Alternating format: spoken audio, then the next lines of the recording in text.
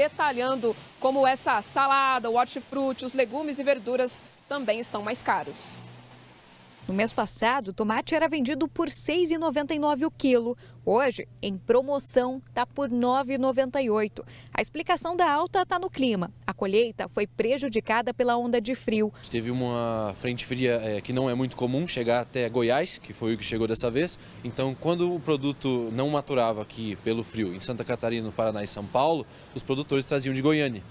Então, dessa vez o frio de 15 graus chegou lá e o tomate acabou não madurando. Já para o consumidor final não tem jeito e nem mesmo negociação. O preço é esse aqui mesmo, ó, que está na gôndola. E aí precisa adotar algumas estratégias para economizar e baixar um pouquinho a lista de mercado. Uma delas é escolher os dias de promoção. A Giane está preocupada com a oscilação. Num dia está um valor, no outro já é diferente. É, a gente tinha um pacote de tomate, agora é meia dúzia que você pode levar para ir você come bem menos do que você comia. Teve gente que olhou o preço e ficou na dúvida. A gente tem que sempre procurar o mais barato, né? Não é fácil, aposentado é difícil, né?